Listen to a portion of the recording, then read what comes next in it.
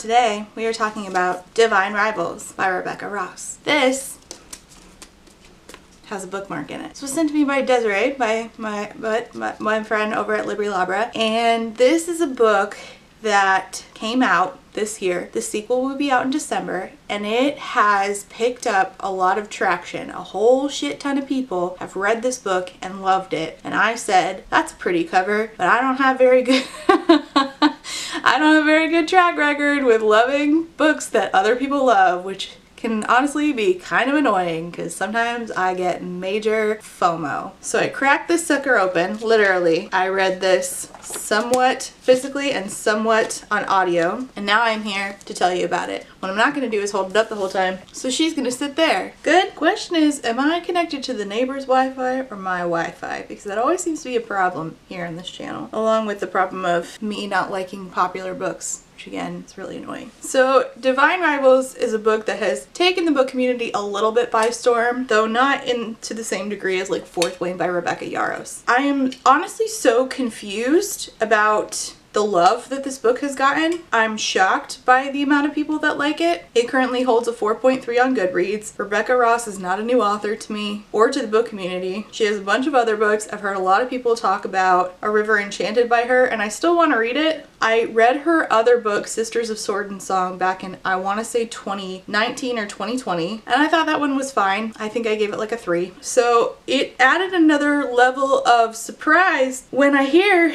that this book is suddenly everywhere and most people love it. So color me even more surprised that I am one of those people. This is a contender for favorite book of the year and possibly on my list for favorites of all time. That will really depend on how the sequel goes, which comes out in I believe December. That's right, you're all shocked. For once I am in agreement with the hype on BookTok. The hype I believe in my opinion is warranted. No one is more shocked about this than me. Uh, it brings me joy to tell you that I gave this five stars. Does that mean that this book is without its issues? No, absolutely not. No book is perfect, but this was perfect for me. This hit so many notes for me that were just sweet and I didn't want it to be over and I'm gonna try to get in depth. I know we all talked about me getting more in depth about my five star review so let's do that today. I wasn't commissioned to do this. My friend as I said Desirai over at Libri Labra did buy me this book but I cracked this shit open of my own accord because the synopsis really intrigued me and I was very excited to open it but I was thinking mm, I typically don't agree with the hype so it's probably gonna be a bummer. Probably gonna be a three star. Fourth Wing is gonna be a three star. I was wrong on both accounts. Maybe I should just stop predicting things because I'm always wrong. As many of you know, I'm trying to learn how to make in-depth positive reviews. I have like a whole notebook. It's over there. I used to take notes recently about how to make positive reviews. The way that I have been learning is by watching writing classes, particularly through Skillshare. I talked about using Daniel Jose Older's course on writing standout opening scenes in the video I did about The Gloom Between Stars. It was helpful for me in talking about the issues I had with the the Gloom Between Stars. And I'm happy to say that I found out that Daniel Jose Older has another Skillshare class and I liked this one even better because it was extremely helpful in me learning how to write positive reviews. Skillshare is the largest online learning community for creatives and they have a wide depth and breadth of topics, everything from like illustration for graphic design, photography, music, marketing, and productivity, but also writers. There is tons of writing advice on Skillshare. There's so many classes and I recommend these not just to writers but also to people learning how to review which even though I've been doing this for several years and it's my literal job I'm still learning. They have authors teaching writing classes such as Sabaa Tahir and Daniel Jose Older both of whom I've read from. Sabaa Tahir is one of my favorite authors. Daniel Jose Older has a class that I really feel helped me write this review in a way that I am actually proud of and I feel like is a quality review. Particularly this class on Storytelling 101, he talks about the four C's of writing. This was really helpful for me in that I looked at his advice and I flipped it and I asked, did the story do what Daniel Jose Older recommended to do? And not just those four C's of character, craft, conflict, and context, but did it marry them together in a way that created an excellent book that was also very enjoyable to me. If you don't know, Skillshare is an on-demand platform. It has stackable lessons so members can learn at their own pace, no matter your skill level. So whether you want to learn the basics of watercolor painting or how to start your own creative business, Skillshare has classes to take you from beginner to pro alongside a supportive community who you can chit chat with. And for all of those of us in the author and reviewing community who are basically like completely community oriented and then some of us are also running businesses that are intertwined with this, they have classes on like freelancing and marketing and entrepreneurship and social media. First thousand people to use my link in the description will get a one month free trial of Skillshare. So if you're looking to hone your craft, whatever that is, if you're like me trying to learn how to write reviews positively, click the link below to get your one month free trial of Skillshare. And thank you to Skillshare for sponsoring today's video. Divine Rivals is a book and I loved it. It's about two characters with dual POV. Our characters are Iris and Roman C. Kitt. This is set in a world that seems to be modeled after like 1915 England during World War One, which is already very different from your typical fantasy book.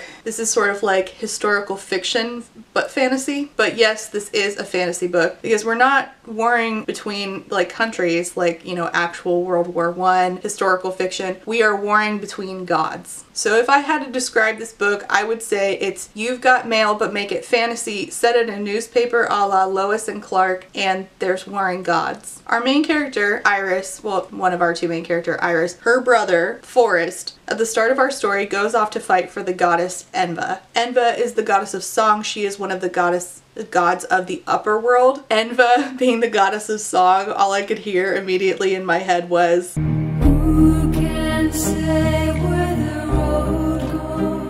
she's battling against a, do a, a dog, a god named Dacre, Dacker. So the gods call up humans to fight for them. So off Forest goes to battle at the beginning of the story, and he makes his sister Iris promise to be good, go to school, take care of their mom, and that he will write to her. Except he never does. And months later, she's no longer in school and she's working at a newspaper where she's in a rival against this guy named Roman C. Kitt, and they are in a rivalry over this newspaper columnist position. They both work for the newspaper already writing some articles, but they both want the columnist position and right now Iris is mostly writing obituaries. Roman C. Kitt is a rich guy who she verbally spars with constantly and the banter is so fun. At night she goes home to the apartment where she shares uh, a home with her mother who has become an alcoholic in the months since her brother left for the war. And Iris pours all of her feelings into these written letters that she writes on this typewriter her grandmother gave her. And then she sticks them in, into the wardrobe that she and her brother used to share. And then they magically disappear, literally. And then one day she gets a letter back and it says, this isn't Forest. This book is so wholly for me.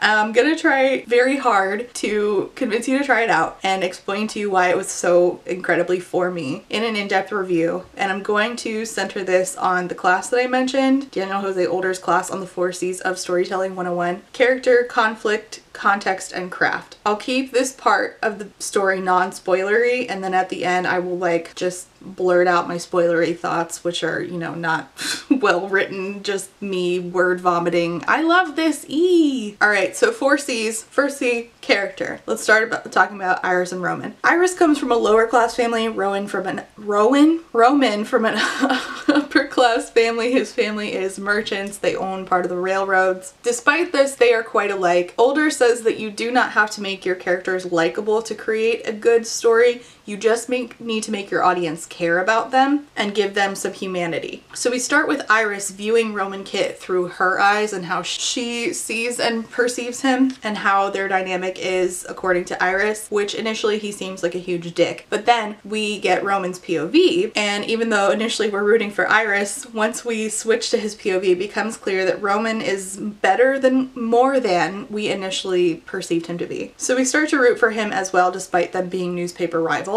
Older recommends having a few things about a character that you love and write these in a way that matter through the eyes of the other character that we are in the in the vision of. So we get to like Roman, not just seeing his POV, but the way that Iris sees him. It's very smart doing dual POV because you really get the most out of your characters that way. I love both Roman and Iris and I loved seeing Iris through Roman Kitt's eyes because because it's so precious that he doesn't realize how that she doesn't realize how much he admires her and I admired her too. Meanwhile in her mind she's always trying to guess what his middle name is. So she's like Roman C. Kitt but it stands for Roman Conceited Kitt, Roman Contrarian Kitt. It's just it's cute. And by the end, we see Roman change in Iris's POV from who she thought he was to who he really is. And I love being on that journey with her, getting to go through that phase all of these phases of like her coming to realize how much he actually adores her was so special. Iris's motivation, and motivation is very important in character. Iris's motivation is to get to her brother because she feels like he is all she has left in the world. Her brother is home to her. Roman's motivation starts out that he wants to win this position at the newspaper, but as you see him learn uh, more about Iris and more about the world around him and go through certain experiences with his family who doesn't really appreciate him or love him in the way that he should be loved and appreciated, his motivations change because he's trying to decide where do I want my life to go? What's important to me? My family doesn't really care about me. How can I be different than my family? What am I willing to risk? So it's sort of him having his own like coming of age story ignited by him meeting Iris. She really changes the trajectory of his life in such a beautiful way. In a, in a way, like him as well for her. But I think that there's like such an important piece there where it's like he really would have gone down such a route that would have made him so miserable if not for Iris and she really made him into his best self. Older suggests that writers make their character motivations known to the reader very quickly and also make the reader care very quickly, which is very hard to do. And I think that while the story changes from that initial dynamic with them being rivals, that setting to the setting changes to them being colleagues in a war setting, like in the actual war zone, Iris's motivations stay the same, but Kitt's change. And they change in a way that I really enjoyed watching. And the way that their motivations work against each other and then with each other, it was just enough angst to like have a lot of like, you know, clutching your chest moments, but not enough that like rips your heart out. Older says that the fundamental building block of story is conflict. I'm a plot girly, so I agree.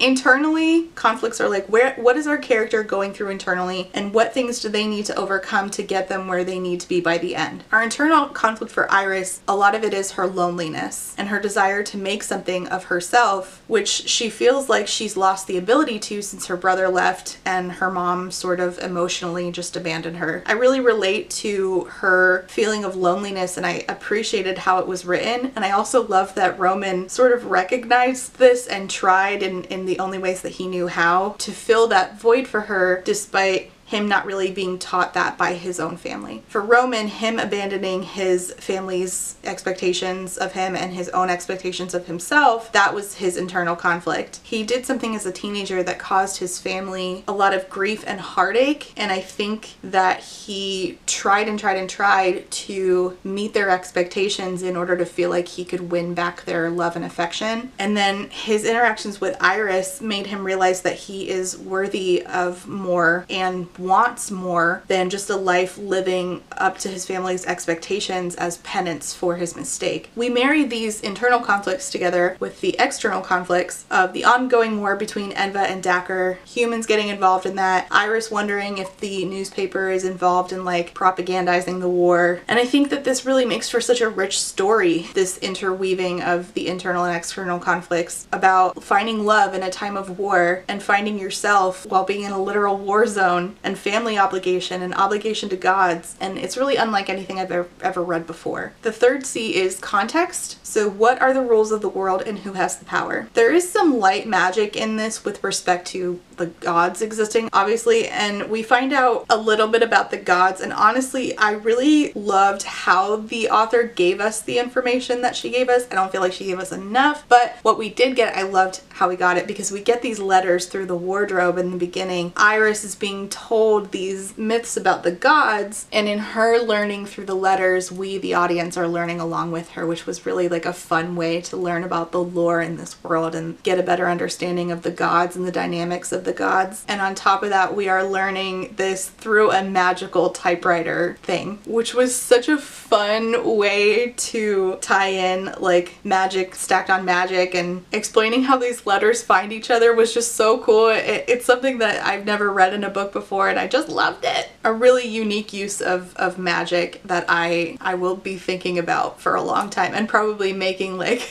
when I say like, I didn't like how this book used magic, it should have been like Divine Rivals. I'm not really sure how the religion fully works in this world. I'm not really sure how the dynamic is like day to day for humans in relation to these gods, if there is any. I don't fully understand how much power the gods have. It seems like the gods are just very powerful beings that live sort of outside of the day-to-day human life. When I think warring gods though, I don't think like 1915 newspaper rivalry in England setting. So in that way, it is still one of the most unique stories I've ever read and that uniqueness really sort of like made me not not need to focus in so much on on not really understanding the religion aspect. So very smart Rebecca, very smart. Sort of like dangling a carrot like, you don't need to know all that information. Look at this unique setting I have. We know that the gods call the humans to service and there's like underworld gods and upper world gods. Enva is an above god and Dacre, Dacre is a lower god. There's typically like a dark god versus light god dynamic in a fantasy world, but in this book it is a god of music versus a god of healing. Dacre is the god of healing and Enva is the god of music, which I thought was such a breath of fresh air.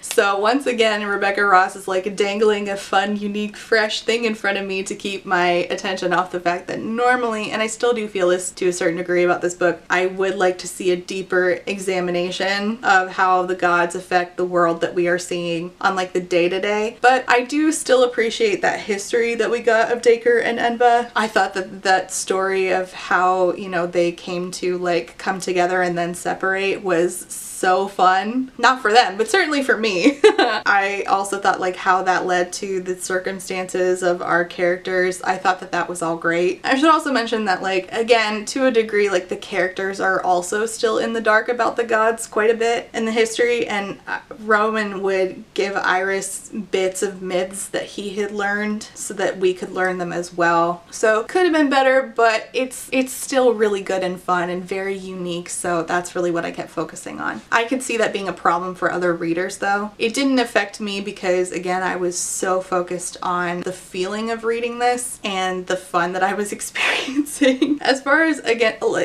to go into that the context of what the audience is experiencing and this will a little bit bleed into the fourth C which is craft by the way. I think Rebecca did a really good job of writing in a very immersive way in my opinion. I could smell the cigarette smoke, I could feel the bombs dropping, I could hear the typewriters because she really wrote in a way that that engaged all of your senses and gave you the full experiences and it was so rich. Older says that the fourth C of craft holds all the other pieces together. So craft is really what holds the context, characters, and conflict all together. And I would say that to me, Rebe Rebecca's writing is excellent. I really was captivated not just by her engaging all of the senses, but the way that she evoked emotion, the way that she used subtle body language of characters, the way she did write lore where she did write it, the sense of dread at the end that she really cultivated so well. you know something bad is coming and, and, and she just also spring she sprinkles in like this sense of foreboding while you're still experiencing these like really tender moments and those tender moments are so precious. I think that this is truly like an exemplary work when it comes to prose and obviously that's going to be different from reader to reader but this is the kind of writing that stays with me. I didn't feel a real connection to her story in Sisters of Sword and song. But what I do remember is her ability to convey emotion and obviously like the sentences themselves were well constructed and that came through so much stronger here in Divine Rivals in a way that really married together beautifully with her characters and her conflict and her setting and to me that is the sign of a good craft. I want to wrap up this non-spoiler this like non-spoiler section so I'll leave it here by saying this is a five-star read for me. I recommend it. It's on Kindle Unlimited but I highly recommend the audiobook because I think the narrators did a really good job. I consumed this this book like a starving woman in front of a feast. I could not get enough. I was dreading the end. It didn't hit as hard as I was expecting at the end, but I am so excited for the next book. I will quite literally beg the publisher on my knees for an arc of this. I really hope you will read it. Please let me know if you already have. If you hated it, that's fine too. You're welcome to tell me down below. It doesn't hurt my feelings at all.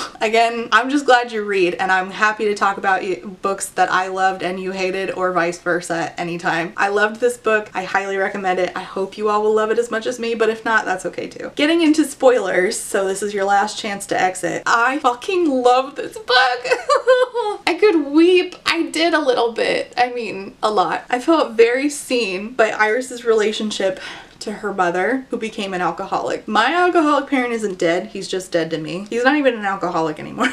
Part of that is because the last time, not to like, you know, again, dump all my trauma on main, but the last time I talked to him, like, he denied all of that happened. All the really traumatic shit that happened when he was an alcoholic that, of course, you don't remember, sir. like, I was the sober one. It's really traumatic being the only child in a house with an alcoholic parent, so I felt so seen and I wanted to Iris. When her mom died, I was so heartbroken for her because that's really where the loneliness for her, that theme of loneliness really came through. And you see that she really has no one. And Roman was the only one who figured out that her mom died. No! And like advocates for her. Stop it, bitch. I love him. The typewriters being family heirlooms. Oh my god. Because their grandmas were friends. Didn't see it coming. Loved it. If you don't know, I do genealogy, so family heirlooms are very special to me. So when it's a magical family heirloom, I'm a sucker for that shit. My grandma's sister died when she was 15, and the only remnants of her ever existing, obviously she never had kids, the only remnants of her existing I own and I uh, take very good care of them and I feel like very honored to have them because it's the only thing left of Dorothy. I have her diary. She, actually, there's this page where she had broken a bone at one point and she was like, all I'm doing is sitting at home and reading all the time. And I was like, Dorothy, I wish I could go back in time and give you a hug. Anyway, family heirlooms kind of kind of a big deal for me. I'm a sucker. I loved the backstory of Dacre and Enva. If that is indeed the real myth and Roman had it right, they're a very like Hades and Persephone type thing, except in this version, Hades, Dacre, is very selfish despite him being the god of healing. But I feel like we don't know enough about Enva. I kind of feel like she's a little bit sinister too. But I loved him being the god of healing because those fighting for him are like, well, he's benevolent. I mean, he like healed me. Of course we follow him. And instead of like being this god of death, he's the god of healing. So obviously for soldiers in the middle of a fucking brutal war, being healed is a big deal. Roman, see Kitt, abandoning his job and showing up at the middle of a war zone. I cannot.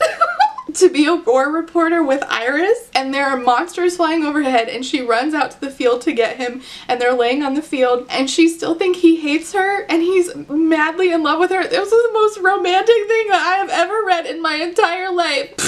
okay, bitch, get it together. And the best part is she doesn't know at that point she still doesn't know that it's him writing her the letters. He doesn't want to tell her yet. And he's like, oh, she's like, oh my god, Roman cocky kit showing up at my new job, trying to be my rival again. And I'm like, oh my god. But he shows up because he's in love with her and he can't bear to be apart from her anymore. I was just clutching my chest because feelings. The ending, all right, the ending, I won't lie to you. I thought it was going to be worse. I, I stopped the book so many times thinking like, oh god, I can't continue. It's going to be so bad and it's going to tear me apart. It didn't. I thought that emotionally I would be devastated. I think that the ending could have been executed a bit better. It's fine. I didn't lower my rating because of it. Like everything's fine except Roman is very hurt and he, um, some person, uh, posing as Roman in like a complete like gas mask outfit is pulling Iris trying to get her out of the war zone and then she sees the real Roman and she's like, who the fuck is this? If my, my they got married by the way, if my fucking husband